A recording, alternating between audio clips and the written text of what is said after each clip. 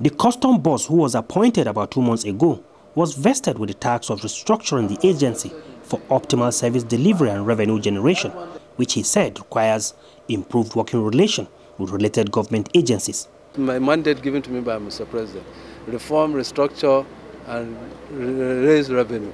In the course of restructuring, of course, a lot of people have, certain things have to happen. We learned that another 400 uh, have been emerged to go. Is it true? You are telling me, I don't know.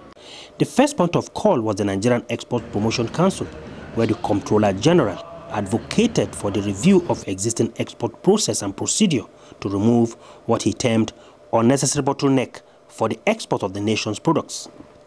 At the central bank, Colonel Hameed Ali said he will ensure strict compliance with the bank's policies and guide against activities of smugglers. All heads of government agencies visited promised to support the customs service.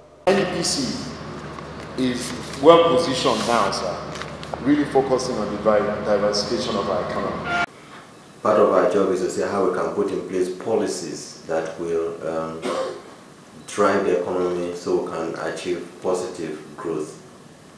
But the activities of some of our, some of some of the smugglers have not helped matters.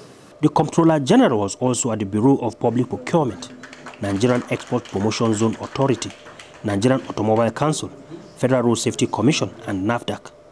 In Abuja, Ismail Musa, NTA News.